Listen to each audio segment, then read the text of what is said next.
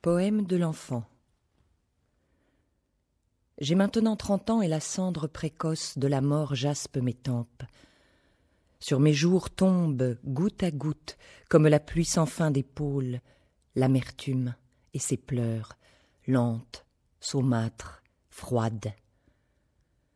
Tranquille, quand dans l'âtre le feu de pain brûle, je regarde mon ventre et je pense à celui qui eût été mon fils, avec ma bouche lasse, avec mon cœur amer et ma voix de vaincu. Avec aussi ton cœur, qui est fruit de poison, et tes lèvres, qui eussent de nouveau renié. Il n'aurait quarante lunes dormi sur mon sein, car pour être de toi, il m'eût abandonné.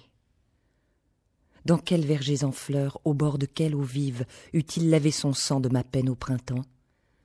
Ma voix triste en tous lieux, landes ou terres clémentes, parlerait chaque soir, mystique, dans ses veines. Et cette horreur qu'un jour, d'une bouche brûlant de rancœur, comme moi à mon père, ils ne disent Pourquoi ta chair pleureuse a-t-elle été féconde et gonflée de nectar les deux seins de ma mère? Je sens l'amer plaisir de savoir que tu dors dans ta couche d'oubli, et sans qu'un fils ne berce ma main, pour qu'à mon tour, sans tourment ni remords, je puisse reposer sous la ronce farouche.